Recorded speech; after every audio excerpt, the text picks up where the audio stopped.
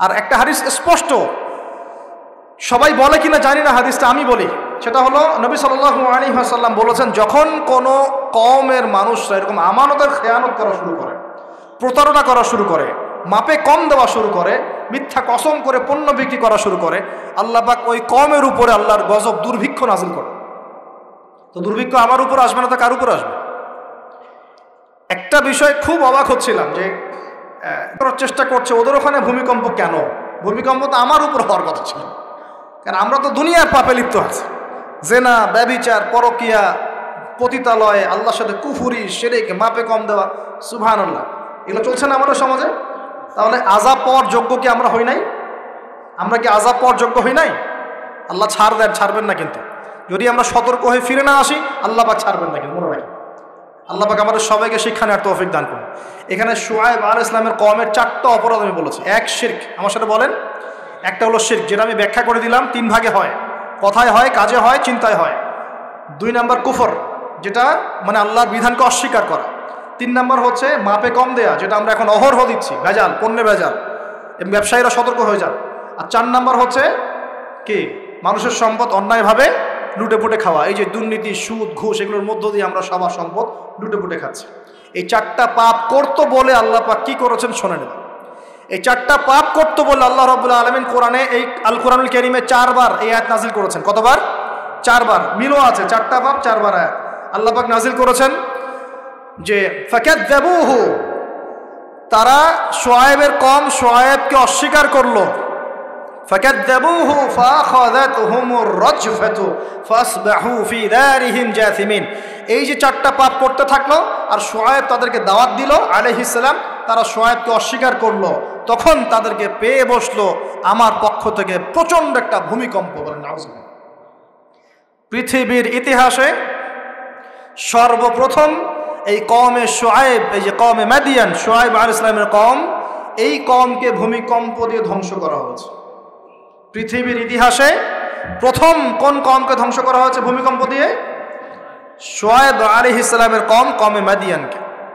কীভাবে? আল্লাহ পাক মেঘ দিয়েছেন, কালো মেঘ।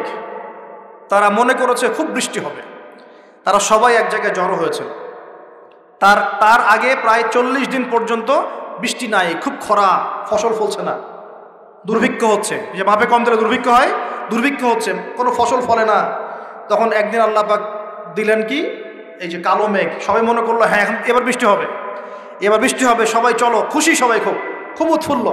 সবাই মিলে জড়ো হলো একটা জায়গায়, যেখানে কালো মেঘ জমেছিল। আল্লাহ পাক ওই পুরো জায়গাটাকে ভূমিকম্প দিয়ে ধসিয়ে দিন মাটির মধ্যে। সর্বপ্রথম আল্লাহ পাক ভূমিকম্প দিয়ে ধ্বংস করলেন সোয়াইব আলী ইসলামের কমকে চারটা অপরাধের কারণে। এক, তারা শির্কের পাপে লিপ্ত ছিল। দুই, তারা কুফুরির পাপে লিপ্ত ছিল। তিন, তারা মাপে কম দিত। আর চার, তারা অন্যের সম্পদ অন্যায়ভাবে গ্রাস করে আত্মসাত করে খায়। এই চারটা পাপ আমাদের মধ্যে আছে কি না ভাই? আছে কি না? এখন নবী সাল আলী আসাল্লাম আমাদেরকে সতর্ক করছেন। হে আমার উম্মত, তোমাদেরকে আল্লাহ মাফ করে দিবেন, তোমরা যদি শিরকের পাপ না করো, কুফুরি না করো, খালি ইলাহ ইল্লাল্লাহ মন থেকে পড়লে আল্লাহ মাফ করে দিবে ইনশাআল্লাহ। পাঁচক নামাজ ঠিক করে পড়ো জাকাত দাও, রমজানের সম রাখো, আমিরের আনুগত্য করো একে অপরের প্রতি মহব্বত রাখো।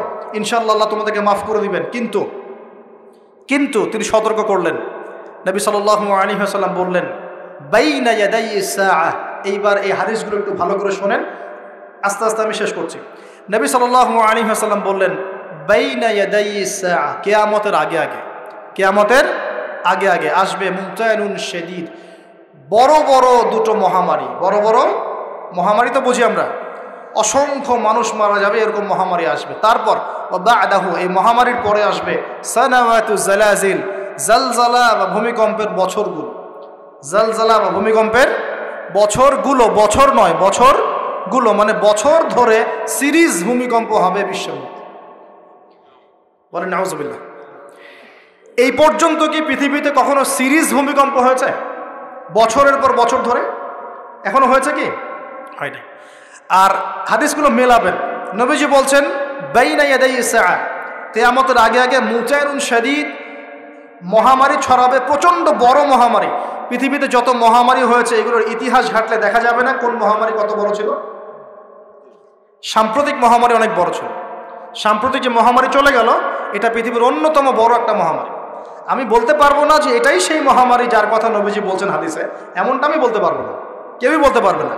কিন্তু হতেও তো পারে। পারে না? হতে পারে। তবে নবীজি স্পষ্ট বলছেন বা আদাহু মহামারীর পরে আসবে। জালজালার বছরগুলো। সিরিজ ভূমিকম্প হবে বছর জুড়ে। বলি, নাউজুবিল্লাহ। কেন হবে? নবীজি বলছেন কেয়ামত হবে না। হাত্তা ইউকবাদাল ইলম, যতক্ষণ পর্যন্ত না জ্ঞান উঠে যায়। এখন জ্ঞান উঠে যাচ্ছে না? কোরআন শোনার জ্ঞানকে মানুষ পরোয়াই করে না। মানুষ এখন বস্তুবাদী জ্ঞানকে বেশি প্রাধান্য দেয়। কোরআন শোনার জ্ঞানকে খুব কম মানুষই প্রাধান্য দিচ্ছে। বেশিরভাগ মানুষ বস্তুবাদী শিক্ষাকে প্রাধান্য দেয়। ইউকবাদুল ইলম, জ্ঞানকে কবজ করে নেওয়া হবে। নবীজি বলছেন, এরপর কি হবে? ওয়াতাকসুরা জালাজিল, বেশি বেশি ভূমিকম্প হবে। ওয়াতাকারাবু জামান, সময় সংক্ষিপ্ত হয়ে আসবে। এখানে অ্যামেজিং বিষয় হচ্ছে কি? প্রত্যেক ভূমিকম্পের সাথে সময় একটু একটু করে সংক্ষিপ্ত হয়। এটা রিসার্চ সায়েন্সের কীভাবে? পৃথিবীর ভিতরে একটা জায়গা আছে, যেটা উত্তপ্ত, লাভা, এখানে লাভা আছে। আর পৃথিবীর ভিতরটা কিন্তু গরম। উপরেরটা আমরা যদিও দেখি, এরকম শিলা, পাহাড় ইত্যাদি, পৃথিবীর ভিতরে কিন্তু আছে লাভা, যেটা সবাই মোটামুটি জানেন। এর ভিতরে একটা জায়গা আছে ইনার কোর বলে জায়গাটা, একদম ভিতরে। এখনকার সাম্প্রতিক গবেষণা বলছে যে, ভূমিকম্পগুলোর প্রভাবে, পৃথিবীতে যত ভূমিকম্প হয়েছে, এর প্রভাবে ইনার কোর আগে যেদিকে ঘুরতো, এখন উল্টা দিকে ঘোরা শুরু করেছে। নাউজবিল্লা মনে রাখবেন, কেয়ামতের অন্যতম আলামত কিন্তু সূর্য পশ্চিম দিক থেকে উঠবে। আর সময় সংক্ষিপ্ত হয়ে আসবে। নবীজি বলেছেন যে একটা বছর চলে যাবে একটা মাসের মতো। একটা মাস চলে যাবে একটা সপ্তাহের মতো। একটা সপ্তাহ যাবে একটা দিনের মতো। একটা দিন যাবে কেমন নবী এটাও বলেছেন। নবীজি বলছেন একটা দিন যাবে একটা ঘণ্টার মতো। মানে ঘণ্টা মানে কি? যে ম্যাচের কাঠি জ্বালাতে যতক্ষণ সময় লাগে, এতটুকু সময়ের মধ্যে মিনিট চলে যাবে। কীভাবে হবে? এটা আল্লাহ ভালো জানেন। আবার দাজ্জালের হাদিসেও আছে, দাজ্জাল যখন বিশ্বে শাসন করা শুরু করবে, তখন চল্লিশ দিন সে বিশ্বকে শাসন করবে। কতদিন? চল্লিশ দিন। যার প্রথম দিনটা হবে এক বছরের সমান লম্বা। প্রথম দিন কত বছর? এক বছর সমান লম্বা। কে জানে পৃথিবীর গতি থেমে যাবে কিনা? থেমে যেতেও পারে। আপনাদেরকে নিউজ দেয় চায়না চায়না নাম তো শুনেছেন? চায়না একটা বাঁধ নির্মাণ করেছে, কৃত্রিম বাঁধ।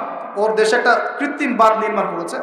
এটা এত শক্তিশালী বাঁধ, ওখানে এত রড, সিমেন্ট আর এই ম্যাটেরিয়ালস ইউজ করা হয়েছে, যেটা এই পাকিস্তান, তারপর ইন্দোনেশিয়া হ্যাঁ বাংলাদেশ, এই যে দেশগুলো আছে, এই পুরো দেশটাকে, এই পুরো দেশের একটা বড় অংশকে এই কংক্রিটের নিচে ঢেকে ফেলা সম্ভব। এত বেশি কংক্রিট ইউজ করা হয়েছে চায়না ইউজ করেছে, ওরা ইউজ করেছে, এবং বিশাল একটা পানির ফ্লো তারা সৃষ্টি করেছে, কৃত্রিম, এটা কিন্তু ম্যানমেড তো আমি গতকাল রিসার্চ করতে গিয়ে দেখলাম যে তারা বলছে, এই বাঁধটা নির্মাণ করার কারণে পৃথিবীর আর্নিক গতির মধ্যে একটা পরিবর্তন চলে আসছে।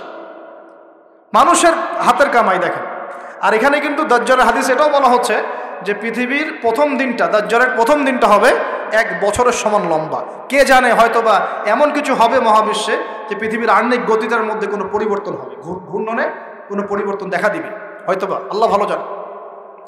তা আমি বিশ্বাস করি এটা হবে। কিন্তু আমি বলি না কারণে যে মানুষ বলবে যে আপনি এত স্পেসিফিকলি কেমন করে বলতে পারেন। তা আমার বিশ্বাস যেরকম কিছু একটা হবে। মহাবিশ্বে এমন কিছু একটা হবে যাতে এই পৃথিবীর গতির মধ্যে একটা পরিবর্তন আসবে। না হলে দাজ্জালের একদিন কেমন করে এক বছরের সমান হতে পারে। সাহাবিরা প্রশ্ন করলেন, ইয়া রসুল্লাহ আমরা তখন নামাজ কেমন করে পড়ব? নবীজি বললেন, অনুমান করে পড়ে নিবে। তোমরা এস্টিমেট করে করে অনুমান করে পড়ে নিবে যে কতটুকু সময় পর পর ওয়াক্ত হচ্ছে। তার মানে সাহাবিরা নামাজে তখনও সচেতন ছিলেন। তারপর দেখেন জামান নবী যেটাও বলছেন, দাজ্জালের দ্বিতীয় দিনটা হবে এক এক মাসের সমান, আর তৃতীয় দিনটা হবে এক সপ্তাহের সমান। বাকি দিনগুলো হবে তোমাদের দিনের মতোই। এটা হবে, বিশ্ববাসী দেখবে এগুলা। বিশ্বের সামনে ভয়ঙ্কর কিছু ঘটনা, ঘটা এখনও বাকি আছে। বিশ্বটা এমন থাকবে না। এখন যা দেখছেন সব এমন থাকবে না। নবীজি বলছেন, জ্ঞান উঠে যাবে যখন। এটা উঠে যাচ্ছে দিন দিন। মানুষকে এখন শেখানো হচ্ছে, মানুষ বানর থেকে সৃষ্টি হয়েছে। এগুলো জ্ঞান। এগুলো জ্ঞান। ইসলামের জাজল্যমান ইতিহাসগুলোকে মানুষ ভুলে যাচ্ছে, এগুলো জ্ঞান। মানুষকে শেখানো হচ্ছে সমকামিতা ভালো জিনিস, এগুলো জ্ঞান। সমকামিতা ভালো জিনিস এটা এটা ব্যক্তি স্বাধীনতা। শেখানো হচ্ছে মানুষকে যে পর্দা, এগুলো কুসংস্কার। পর্দা কি? কুসংস্কার, এগুলো জ্ঞান। জ্ঞান কাকে বলে? ওয়ুকবাদুল ইল মানে জ্ঞান উঠে যাচ্ছে, কবজ করে নেওয়া হচ্ছে। আর দেখেন আরেকটা হাদিস আসছে আল্লাহ পাক কিন্তু কোরআন হাদিসকে তুলে নেবেন না। একটা হাদিসে আসছে আল্লাপাক কোরআন হাদিসকে তুলে নেবেন না, কিন্তু আলেমদের মৃত্যু হবে বেশি বেশি। আলেমদের যান কবচ করার মধ্য দিয়ে আল্লাপাক জ্ঞান উঠিয়ে নেবেন। একটু দেখেন না কয়জন আলেম আছে মাঠে? দেখেন তো কয়জন আলেম? আলেম তো অনেকেই আছে, আলহামদুলিল্লাহ। কিন্তু বরেণ্য ওলামা যাদের কথা হাজার লক্ষ কোটি মানুষ শোনে, এমন আলেম কয়জন আছে? দেখেন, আস্তে আস্তে প্রবীণ আলেমরা সব চলে যাচ্ছে। আর যে প্রজন্ম আমরা তৈরি করছি, এই প্রজন্মের কতজন এল অর্জন করে ওই চ্যালেঞ্জ বুকে নিয়ে জাতিকে সংস্কারের জন্য নেমেছে, দেখেন একটু। আমাদের, আমাদেরকে দুনিয়া পেয়ে বসেছে। আমাদের চিন্তা হচ্ছে মসজিদ ইমামতি নিয়ে একটা তারাবি পড়াবো, ইমামতি করব একটা মাদ্রাসার মোহতামিম হব। এতটুকুই আমার চিন্তা স্বপ্ন কেন? স্বপ্ন থাকতে হবে যে আমি আমার জ্ঞান দিয়ে উম্মাকে পরিবর্তন করব, ইনশাআল্লাহ। এবং আল্লাহর জমিন আল্লাহর দিন প্রতিষ্ঠা করে ছাড়বো, ইনশাআল্লাহ। এরকম চ্যালেঞ্জ নেওয়ার মানসিকতা আছে কয়জনের? খেয়াল করে দেখেন। আর হিউজ এই যুব সমাজ যারা জেনারেল লাইনে পড়ছে, তাদের মধ্যে কয়জন আলেম হচ্ছে একটু চিন্তা করুন আর যারা দুই একজন উঠে আসার সুযোগ পাচ্ছে, তাদেরকে আবার মানুষ বুক ভরে রিসিভ করছে না। তারা হেল্প পাচ্ছে না, সহযোগিতা পাচ্ছে না, বরং হিংসার শিকার হচ্ছে, বিদ্বেষের শিকার হচ্ছে। আগ্রহ হারিয়ে ফেলছে। তা আমি এখানে এসে কী করব? আমাকে তো বুকে টেনে নেয় আর কেউ নেয় এমন মনে হচ্ছে মানুষের কাছে। তো জ্ঞান উঠে যাবে কিন্তু শুধু কোরআন সুন্না আল্লাপাক তুলে নেবেন না, এমনটা আল্লাপাক বলেন নাই। আল্লাহ বলেছেন তার নবীর মাধ্যমে জানিয়েছেন যে আলেমদের মৃত্যু হবে, সংখ্যা কমে যাবে। সংখ্যা বেড়েছে না কমেছে? সত্যি কথা হচ্ছে আলেমদের সংখ্যা, বরেণ্য আলেমদের সংখ্যা কমছে দিন দিন। এখনও আমরা শুধু তালেবে ইলম আছি। আর আমি দোয়া করি, আমি তালেবে ইলম অবস্থায় থাকতে চাই। কারণ জ্ঞানের কোনো শেষ নাই। দোলনা থেকে কবর, জ্ঞান অর্জন করতেই থাকতে হবে। নবী মুসা আলি সালাম পর্যন্ত জ্ঞান অর্জন করতে গিয়েছেন খিজিরের কাছে আলি ইসলাম জান নাই? নবী মুসা আলি ইসলাম বলছেন, আমি সবচেয়ে জ্ঞানী মানুষ। আল্লাহ বলছেন, না, তুমি সবচেয়ে জ্ঞানী মানুষ না। ওই যে আমার বান্দা খিজির, ও জ্ঞানী মানুষ। তখন তিনি বলছেন, আমি তার সাথে দেখা করতে চাই, জ্ঞান শিখতে চাই। তিনি গিয়ে বলছেন, আমাকে কি আপনার সাথে রাখবেন? আল্লাহ পাকে আপনাকে যা শিখিয়েছেন তার থেকে কিছু শেখাবেন? কে বলছে? নবী মুসা আলি ইসলাম তো নবী মুসা আলি ইসলাম তালেবে ইলম হতে পারেন। আর আমরা কি, ইয়া হয়ে গেছি নাকি? তো এই আন্তর্জাতিক খ্যাতি সম্পন্ন হাবি এগুলো বয়কট করেন। দরকার নেই এগুলো কোনো এগুলো কোনো দরকার নাই। এমনি আমরা তালেবে ইলমই থাকতে চাই। আর আমরা শুধু দায়ী মাত্র। আপনাদেরকে হয়তো দাওয়াত দিতে পারব, কিন্তু ফিখের কঠিন মশালাগুলো গভীরতা, এগুলো আমরা বলতে পারব না। এগুলো মুফতি সাহেবরা বলতে পারব তো বরেণ্য ওলামায় কেরামদের সংখ্যা কিন্তু কমছে। আমরা দোয়া করি আল্লাহবাক সমস্ত মাজলুম ওলামায় কেরামকে মুক্তিদানের ব্যবস্থা করেন। এবং আল্লাহবাক বাংলার জমিনে আলেমদেরকে দিয়ে ভরিয়ে দিন, ইনশাআল্লাহ। আর জাহেলদেরকে আল্লাহবাক আলেমের জায়গায় আনা থেকে আমাদেরকে হেফাজত করুন আর আমাদের সবাইকে এই ট্রল পাগল হলে চলবে, ইস্যু পাগল হলে চলবে, সমালোচনা সংস্কৃতি লালন করা যাবে আপনি মানুষ তৈরি করেন, মানুষ তৈরি করা অনেক কঠিন, নামিয়ে দেওয়া সহজ। আমরা এই জায়গায় আসতে অনেক কষ্ট করতে হয়েছে, কিন্তু নামানো কিন্তু খুব সহজ। একটা ইস্যু দিয়ে নামাতে পারে না একটা ইস্যু সৃষ্টি করে নামাতে পারেন। এই জায়গায় আসতে কিন্তু অনেক কষ্ট করতে হয়। অতএব আল্লাহর দিনের সাথে গাদ্দারি করলে আল্লাহবাক ছাড়বেন না কিন্তু। এটা মাথায় রাখবেন। আল্লাহবাক আমাদের সবাইকে বোঝার তৌফিক দান করুন। নবীজি বলছেন কখন এই ভূমিকম্পগুলো আসবে, সিরিজ ভূমিকম্পগুলো কখন আসবে? যখন জ্ঞান উঠে যাবে এবং জালজালা বাড়বে। ইয়াত করবু জামান, জামানা কাছাকাছি চলে আসবে। আরও বলছেন নবীজি যে, তোমাদের মাল সম্পদ বৃদ্ধি পাবে। ফাইয়া ফিদু এবং মাল সম্পদ উপচে পড়বে তোমাদের। দিন দিন দেখছেন না যে, যার স্যান্ডেল কেনার টাকা ছিল না সে এখন উঁচু উঁচু বিল্ডিং তৈরি করতেছে, দেখেন না এটাই তো নবী সাল্লাহ আসলাম হাদিস জিবরুল্লে কি বলেছেন?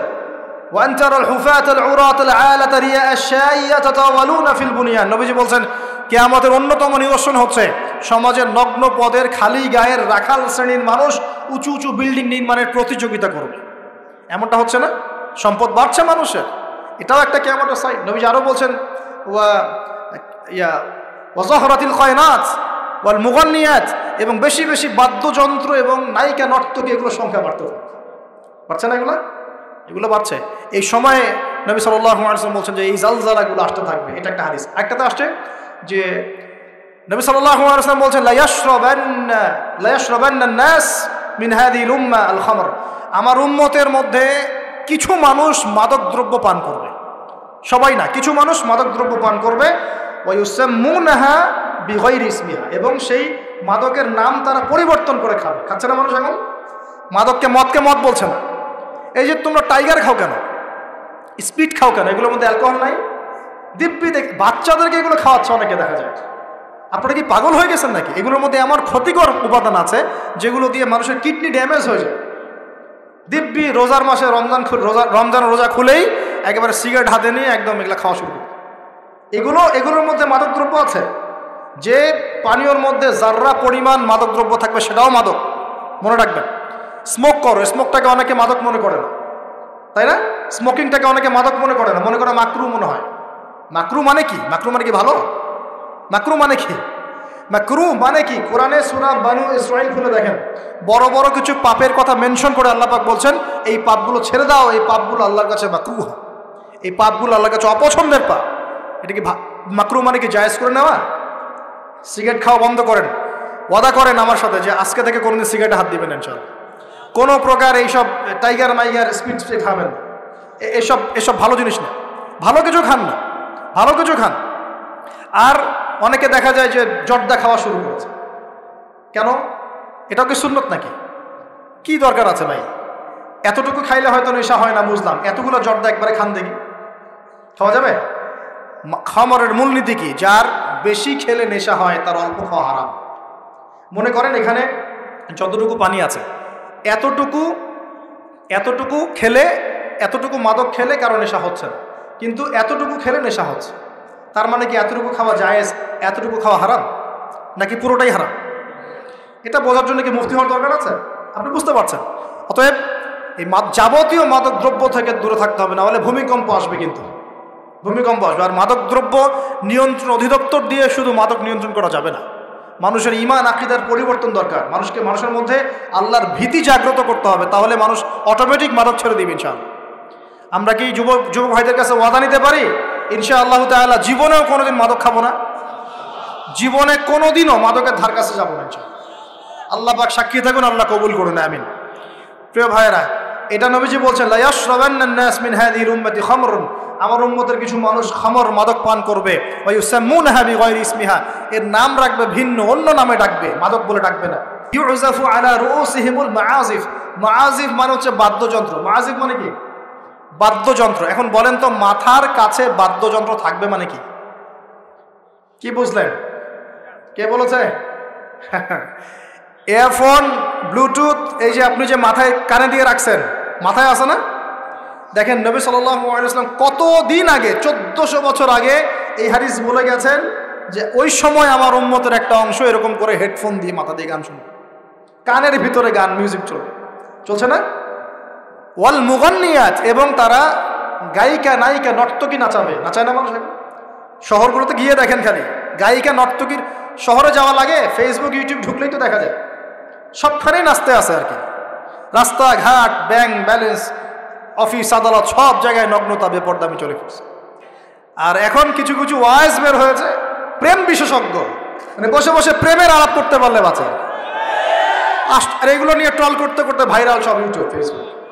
চুলকা চুলকি সুসুরি আলাপ করতে ভালো লাগে এখানে। এই হারাম সম্পর্কের ভিত্তি ঘুরাই দিতে হবে। আমি বারবার বলি তোমাদেরকে যে একটা হালাল রিজিকের সোর্স তৈরি করো, তাড়াতাড়ি বিয়ে করে ফেলো বিয়ে ছাড়া যৌন যৌন চাহিদা লজ্জাস্থানের হেফাজত, এগুলো করার কোনো বিকল্প কোনো পথ নাই। বিকল্প কোনো পথ নাই। যে পথগুলো দেখা যায়, এগুলো হতাশা আরও বাড়াই দিবে। এগুলো আপনাকে আরও জানোয়ার বানায় ফেলবে ভিতর থেকে। পর্নোগ্রাফির যুগ চলছে। মেয়েদের ইজ্জত, আব্রু রক্ষা করা খুব চ্যালেঞ্জের কাজ। মেয়েদের ইজ্জত, আব্রু রক্ষা করে এত চ্যালেঞ্জ যে পর্নোগ্রাফির যুগে যে কোনো মেয়ে ধর্ষিত হতে পারে। একটা কথা এখন না বললেই পারতেছি না। আমি কিছু রিপোর্ট দেখেছি। কিছু কিছু মাদ্রাসায়, কিছু কিছু হিপসখানাতে পর্যন্ত স্তাফরুল্লাহ যে ছাত্র যারা আছে, ছাত্র, এই ছাত্রদের সাথে এরকম বালাৎকার সমকামিতার কাজ করা হচ্ছে আমরা বাচ্চা থেকে পাঠাবো কোথায় তাহলে? এটা আমাদের সাথে হবে কেন? বাচ্চা থেকে কোথায় পাঠাবো তাহলে? ইউনিভার্সিটিতে গিয়ে তো ধর্ষিত হচ্ছেই, হচ্ছে না? দেখলেন না কয়েকদিন আগে হল নিয়ে কি ঝামেলাগুলো হলো? দেখা গেল না যে বড় বড় নেতাদের মনোরঞ্জন করতে হয়। দেখেন নাই মনে ইডেনের কথা বলছি। দেখেন নাই?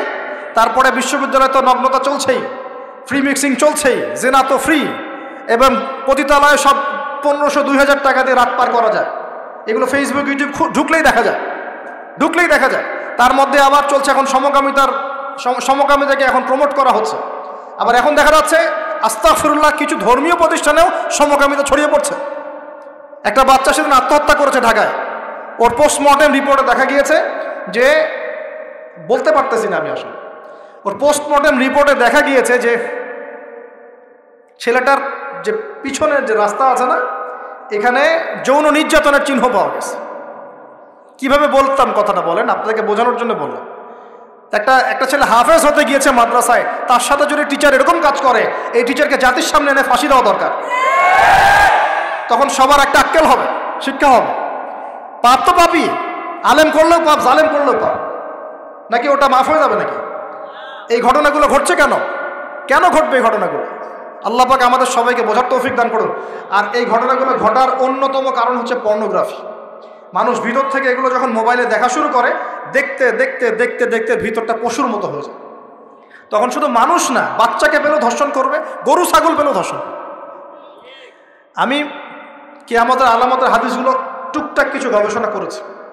শেষ জামানার এমন হাদিস আসছে যে মানুষ মানুষ একসময় গরু, ছাগলের সাথে জেনা করা শুরু করে। এই সময়টা কিন্তু আসতেছে সামনে দেখ এক সময় ছিল মানুষ কি করতো জানেন? পরকিয়া করতো। বউ আছে বাসায়, অন্যের সাথে সম্পর্ক করতো। তারপর দেখা গেল যে প্রেম করে, চুপি চুপি প্রেম করে। আগে ওই সময় চুপচুপ করে চিঠি দিত যে কেউ জেনে না যায়। আস্তে আস্তে সবাই একটু উন্মুক্ত হয়ে গেল। এখন প্রেম করাটা ফ্যাশন হয়ে গেল। আমার দশটা গার্লফ্রেন্ড আমার পাঁচটা, আমার দুইটা। তুই কজনের সাথে করছিস, আমি পাঁচজনের সাথে, তুই কজনের সাথে, আমি দুজনের সাথে। ফ্যাশন হয়ে গেছে। এখন ওপেন তারপরে আস্তে আস্তে কী হলো দেখেন? ধর্ষণ বাড়তে থাকে এই যুগটা এখন চলে যাচ্ছে। ধর্ষণ তো অ্যাভেলেবেল এখন হচ্ছেই। তারপরে এখন একটা যুগ আসলো, মেয়ে, ছোট ছোট বাচ্চা মেয়েদেরকে এখন ধর্ষণ করা হচ্ছে। ছোট ছোট বাচ্চা মেয়েকে। এই যুগও এক সময় চলে যাবে। তারপরে আসবে এমন যুগ, দেখবেন, খালি ছেলে, ছেলের সাথে মেয়ে, মেয়ের সাথে। এটাও কিন্তু চলে আসছে। ছেলে, ছেলের সাথে জেনা করতেছে না? মেয়ে, মেয়ের সাথেও জেনা করতেছে এখন। এরপর কি হবে? নবীজ হাদিসে বলেছেন, এরপর মানুষ ওই গরু, ছাগল, গবাদি পশুর সাথে জেনা করা শুরু। এই খবরও পাবেন, দেখে নিয়েন, আমি বললাম, এই খবরও পাবেন যে মানুষ গবাদি পশুর সাথে জেনা করেছে। তোমরা একটু ঘাটাঘাটি করে দেখো আমার কথাটা মেলে কিনা। ইন্টারনেট ঘাটাঘাটি করে দেখো যে এই কথাটা মেলে কিনা। মানুষ গবাদি পশু প্রাণীর সাথেও জেনা করবে। নবী যেগুলো কথা বলে গেছেন। ওদেরকে নিয়ে অনেক কিছু বলার আছে আমার। ইনশাল্লাহ আমি কালকে লেকচার দিব মেয়েদেরকে নিয়ে ইনশাল্লাহ একটা মহিলা সমাবেশ আছে ওখানে। তো যেটা বলছিলাম প্রিয় ভাইয়ের, এই পাপগুলোর কারণে কিন্তু আল্লাহর শাস্তি নেমে আসে। খমর। এক নাম্বার ছিল শিখ তারপর কুফর, মাপে কম দেয়া, অন্যের সম্পদ আত্মসাৎ করা, মাদকদ্রব্য সেবন করা, এই যে গান, বাজনা, বাদ্যযন্ত্র, নর্তকী নাচানো, এগুলোর কারণে কোন শাস্তি আসে ভাই? বলেন। আল্লাহর পক্ষ থেকে জালজালা মানে ভূমিকম্প। জালজালা মানে কি? ভূমিকম্প। আর আসবে সিরিজ মানে বছর জুড়ে চলবে এগুলো। আরেকটা হাদিস বলে শেষ করছি। ও আচ্ছা এর পরিণতিটা বলে নেই। নবীজি বলছেন যারা এই কাজগুলো করবে মানে মাদক খাবে, নাম চেঞ্জ করবে, যারা বাদ্যযন্ত্র নিয়ে রাত কাটাবে, যারা নর্তকী নাচাবে, আল্লাহ রব্বুল আলমিন এদেরকে একদিন সকালবেলা বানর আর শুয়োর বানিয়ে দিবেন আর ওয়াকসিফুল্লাহু বিহিমুল আর্থ আল্লাহ পাক জমিন সহ ওদেরকে ধসিয়ে দিবেন এই যে ভূমিধস যখন দেখা যাবে যে গণিমতের মাল বা রাষ্ট্রীয় সম্পদ যেগুলো আছে, বুঝতে পারছেন? গণিমতের মাল রাষ্ট্রীয় সম্পদ, এগুলোকে মানুষ ব্যক্তিগত সম্পদ মনে করে খাওয়া শুরু করে। হয়েছে কি হয় নাই? কথা বলেন। এই সিচুয়েশন আসছে কি আসে নাই? একটা হাতি আসতে থাকে উপর থেকে। হাতি আস্তে আস্তে আস্তে আস্তে মাসি হয়ে যায়। হয় না এটা? হয় কি না? এটা শাস্তি সম্পর্কে আল্লাপাক অন্য জায়গায় বলেছেন এবং নবী হাদিসও বলেছেন যে যে যা আত্মসাত করবে যে যা আত্মসাত করবে, সেটা কেয়ামতের দিন তার ঘাড়ে চাপিয়ে দেওয়া কেয়ামতের মাঠে উঠে দেখবেন বহু মানুষ কাঁধের মধ্যে রিলিফের টিন নিয়ে বসে আছে। বহু মানুষ কাঁধের মধ্যে রিলিফের গম নিয়ে বসে আছে। বহু মানুষ কাঁধের মধ্যে দেখবেন যে বন্যার্থদের ত্রাণের যে কম্বল, এই যে ত্রাণের বিষয়গুলো কাঁধে নিয়ে বসে আছে। রাস্তার রাস্তার কন্ট্রাক্টারির টাকা পয়সা কাঁধে নিয়ে বসে আছে। বহু মানুষ এই কাজ করবে। তখন এরকম গণিমতের মালকে ব্যক্তিগত সম্পদ রূপে ব্যবহার করা হবে। ওয়াল আমানাতু, এবং আমানাতকে, ওয়াল আমানাতু মাগরামান, আমানতটাকে মাগনামান মানে গনিমত মনে করা হবে। আমানতটাকে গনিমত মনে করা হবে। ওয়াল আমানাতু মাগনামান, আমানতকে গনিমত মনে মানে আমানত রাখা হয়েছে ও খেয়ানত করে ফেলবে, রুটি পুটে খেয়ে ফেলবে। এটা হচ্ছে কি না? সবচেয়ে সেরা আমানত আমাদেরকে আল্লাহ দিয়েছেন ইসলাম। আমরা সেই ইসলামের সাথে খেয়ানত করছি কিনা বুঝতে পারছেন না? একজন আলেমকে আল্লাহ পাক আমানত দিয়েছেন দিনের জ্ঞান। সে জ্ঞানের সাথে খেয়ানত করছে কিনা? একজন ক্ষমতাসীনকে আল্লাহ পাক দিয়েছেন ক্ষমতা। সে ক্ষমতা দিয়ে খেয়ানত করছে কিনা? একজন পরিবারের কর্তাকে আল্লাহ পাক পরিবার দিয়েছেন। সে পরিবারের মধ্যে খেয়ানত করছে কিনা? সবাই সবার জায়গাতেই খেয়ানত করছে। আল্লাহ পাক আমাদেরকে বোঝার তৌফিক দান করুন। তিন নাম্বার নবীজি বলছেন, ওয়াল ওয়াজ জাকাতু যখন জাকাতটাকে মানুষ বোঝা মনে করা শুরু করে জাকাত দিতে চায় না মানুষ জাকাত নাম শুনলেই দৌড় দেয় পিছন থেকে। জাকাত দিতে চায় না। নামাজ পড়ে জাকাত দিতে চায় না। আল্লাহ পাক আমাদের সবাইকে জাকাত দেওয়ার তৌফিক দান করুন। দিন এটা চমৎকার। নবীজি বলছেন যে যখন ধর্ম বিবর্জিত শিক্ষা চালু হবে, বুঝতে পারেন নাই? ধর্ম আলাদা, শিক্ষা আলাদা। চালু হয়েছে কি হয় নাই? সারা বিশ্বে হয়েছে কি হয় নাই? ধর্ম আলাদা, শিক্ষা আলাদা। ধর্ম বিবর্জিত শিক্ষা যখন চালু হবে, এবং এবার শোনেন, নবীজি বলছেন একজন পরিবারের কর্তা তার স্ত্রীর আনুগত্য করবে। ফ্যামিলিস্ট রেভলিউশন মানে স্ত্রীর আনুগত্য করবে পুরুষ। স্ত্রীর আঁচল ধরে বসে থাকবে পুরুষ। শুধু তাই না, ওয়াক কম্মা এবং তার মাকে, মায়ের সাথে খারাপ ব্যবহার করা শুরু করবে। মাকে প্রাধান্য না দিয়ে বউকে প্রাধান্য দিবে, এবং তার আঁচল ধরে বসে থাকবে। এই সময় আসে নাই? আচ্ছা হিসাব করতে থাকে মিলাতে থাকে নবীজি বলছেন ওয়াদনা সদিকা। বন্ধু বান্ধবদেরকে কাছে টেনে নিবে। বন্ধু বান্ধবদেরকে কাছে টেনে নিবে। ও আকস আবাহ, এবং তার বাবাকে দূরে ঠেলে দেবে। হয়েছে কি, হয় নাই? যুবকরা বলো, এটা হয় নাই? বাবাকে দেখলে কয়েকদিন সালাম দেয়। বাবার সাথে কতজনের ভালো সম্পর্ক আছে। বন্ধুর সাথে যা, বাবার সাথে তা নয়। অথচ বাবা এবং ছেলের সম্পর্ক হওয়া উচিত বন্ধুত্বপূর্ণ। তোমার সবচেয়ে সেরা বন্ধু হবে তোমার বাবা। তোমার সবচেয়ে সেরা বান্ধবী হবে তোমার মা এবং তোমার বোন। মায়ের সাথে ছেলের সম্পর্ক দূরত্ব, বাবার সাথে ছেলের সম্পর্ক দূরত্ব, এগুলো হচ্ছে না? এটা নবীজি বলেছেন। আর বলছেন, হেবার শোনেন মসজিদ। মাসাজিদ, মসজিদগুলোর মধ্যে হট্টগোল সরগোল বেড়ে যাবে। বাড়ে নাই? মসজিদ এখন হই হুল্লা হয় না? আমরা অনেক দিন দেখেছি, মসজিদের মধ্যে হকি স্টিক নিয়ে মারামারি হয়েছে। আমি নিজে দেখেছি। দুই দল কমিটি, কমিটির আধিপত্য বিস্তারকে নিয়ে একদম হকিস্টিক নিয়ে আসছে মসজিদে মারার জন্য। এরকমও হয়েছে। আরও অনেক জঘন্য ঘটনা ঘটে, আল্লাহ মাফ করুক। তারপর নবীজি বলছেন, ওয়াসাদ কবিল হুফাসিকুহ একটা কবিলা বা একটা গোত্রের নেতৃত্ব দিবে একজন ফাসেক ব্যক্তি। এমন হচ্ছে কি হচ্ছে না? হচ্ছে, ওয়াসাদা কবিল হুফাসিকুহুম তাদের মধ্যে যে ফাসেক, সে দিবে নেতৃত্ব নাউজুবিল্লাহ নবীজি আরও বলছেন সাঈমুল কওমি আরদালাহুম সমাজের সবচেয়ে নিম্ন শ্রেণির মানুষ কমের জিম্মাদার হয়ে যাবে। সুবহানাল্লাহ, নবীজি আরও বলছেন উকরিমা রজুল একজন ব্যক্তিকে এই কারণে সম্মান করা হবে মা খাফাতা তার ভয়ে তাকে সম্মান করা একজন ব্যক্তিকে তার ভয়ে, তার ক্ষমতার ভয়ে, তার টাকার ভয়ে, তার ক্ষমতার ভয়ে, তার জনবলের ভয়ে তাকে সম্মান করা হবে। এমনটা হচ্ছে না? হচ্ছে। নবীজি আরও বলছেন ওয়াজহরাতিল কয়নত ওয়াল মুগান্নিয়াত ওয়াজহরাতিল কয়নত ওয়াল মাআজিফ ওয়াজহরাতিল কয়নত ওয়াল মাআজিফ গায়িকা এবং বাদ্যযন্ত্রের প্রচলন বাড়তে থাকে। গায়িকা, বাদ্যযন্ত্র ব্যাপক হারে বাড়তে থাকবে এবং অশ্বরী বাতিল খমর এবং বেশি বেশি মাদকদ্রব্য সেবন করা হবে। উম্মতের শেষ দিকের মানুষেরা প্রথম দিকের মানুষকে গালি দেওয়া শুরু এই পাপগুলো যখন সমাজে দেখা যাবে, এই পাপগুলো যখন সমাজে দেখা যাবে তখন তোমরা ফাল ফাল ইয়ার চাকিবু এবার ধেয়ে আসবে, ইন্দে দেয়ালিকে তোমাদের দিকে ধেয়ে আসবে চারটা আজাব কয়টা আজাব চারটা। এক নম্বর নবীজি বলছেন, রিহান হ্যামরান উত্তপ্ত গরম বাতাস তোমাদের দিকে ধেয়ে আসবে। এখনও কি এসেছে? আসবে। আমি রিসার্চ করেছি, এই নাসা এই গবেষণা শুরু করেছে, সূর্য থেকে এরকম ক্ষতিকর কিছু উত্তপ্ত বিকিরণ আসতেছে পৃথিবীর দিকে। এবং সামনে আসবে পৃথিবীর দিকে। দেখে নিন। নাসাও বলছে এটা আসবে, কারণ ওইখানে হিলিয়াম গ্যাসের বিস্ফোরণ হচ্ছে সূর্যের মধ্যে। ওখান থেকে এমন উত্তপ্ত কিছু আসবে যেটা পৃথিবীকে ধেয়ে নিয়ে আসবে আল্লাহ মাফ করুক। ওরিহান হামর, নবীজি বলেছেন, গরম উত্তপ্ত বাতাস তোমাদেরকে চাপিয়ে দেওয়া হবে। ওয়া জাল জালাতান এবং এই যে ভূমিকম্প ভূমিকম্প আল্লাহ চাপিয়ে দিবেন, এই পাপগুলোর কারণে। আর কি হবে? ওয়া হাসফান এবং ভূমি ধসে যাবে নিচে। ভূমি কি হবে? ধসে যাবে। আর বলছেন ওয়ামাস খান এবং মানুষের চেহারা, সুরত, আকৃতি পরিবর্তন হয়ে যাবে। এটাকে বললাম যে বানর সুর হয়ে যাবে। আরও কিন্তু আকৃতি পরিবর্তনের আরও ব্যাখ্যা আছে। ছেলে এখন মেয়ে হয়ে যাচ্ছে, মেয়ে ছেলে হয়ে যাচ্ছে। দেখছেন না খবরগুলো বাড়ছে না? এটাও মাসখান মানে আকৃতি পরিবর্তন হয়ে যাচ্ছে। আরেকটা হচ্ছে ওয়াকাদফান, এবং আসমান থেকে আল্লাহ পাথরের বৃষ্টি বর্ষণ করবেন। এই পাঁচটা পা, এই পাঁচটা শাস্তি তোমাদের কাছে ধেয়ে আসবে কীভাবে? একটা তসবি দানা ছিঁড়ে দিলে যেভাবে টপ টপ করে সব পড়ে যায়, পুঁথিগুলো, এত দ্রুত এই ফেতনাগুলো আসতে থাকবে তাহলে ভাই, কোন কোন পাপ শিখলাম? আজকের এই ছোট্ট আলোচনা আমরা শিখলাম যে সোয়াইব আল ইসলামের কমকে সর্বপ্রথম ধ্বংস করা হয়েছে ভূমিকম্প দিয়ে যে ভূমিকম্প আমরা এখন আমাদের সামনে দেখছি এবং আশঙ্কা করা হচ্ছে বাংলাদেশের দিকেও বড় কোনো ভূমিকম্প। এটা আশঙ্কা করা হচ্ছে এবং ভূমিকম্প প্রবণ এলাকাগুলোর মধ্যে সিলেটও আছে সিলেট, চট্টগ্রাম, এই বার্মার এই রুট আছে। এদিকে রংপুর, ঢাকা তো এগুলো তো আছেই।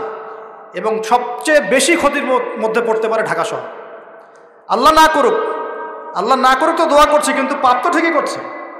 আল্লাহ না করুক যদি এরকম পাঁচ থেকে ছয় মাত্রটা কোনো ভূমিকম্প হয়েছে, যার উৎপত্তি স্থল বাংলাদেশের কাছাকাছি, তাহলে দেখবেন আল্লাহ না করুক লক্ষ লক্ষ মানুষ মারা যাবে না বুঝবেন আল্লাহ আমাদেরকে হেফাজত করুক। আল্লাহ আমাদেরকে বাঁচাক। প্রিয় ভাইয়েরা, তবে আমরা শিখলাম, সোহাইব আল ইসলামের কম কোন কোন পাপ করেছিল, যার কারণে এই আজাব আসছে। এক নাম্বার শিরকের পাপ করছে। কি পাপ বলেন? আমরা আল্লাহর কাছে তওবা করছি, আল্লাহ, আমরা যত রকম শিরকের পাপে ছিলাম, আল্লাহ তোমার কাছে তওবা করলাম। এবং আজীবন শিরিক মুক্ত আমল নিয়ে চলবো ইনশাআল্লাহ দুই নাম্বার, তারা কুফুরি করতো। আমরা সমস্ত কুফুরি থেকে আল্লাহর কাছে তওবা করছি। আল্লাহ আমাদেরকে কুফুরি মুক্ত আমল করার তৌফিক দান। তিন নাম্বার, তারা মাপে কম দিত। আমরা যারা ব্যবসা করব বা অর্থনৈতিক জীবন চালাবো কোনোদিনও মাপে কম দেবো না। আল্লাহ আমাদেরকে হেফাজত করুন, বোঝার চেষ্টা, বোঝার তৌফিক দান করুন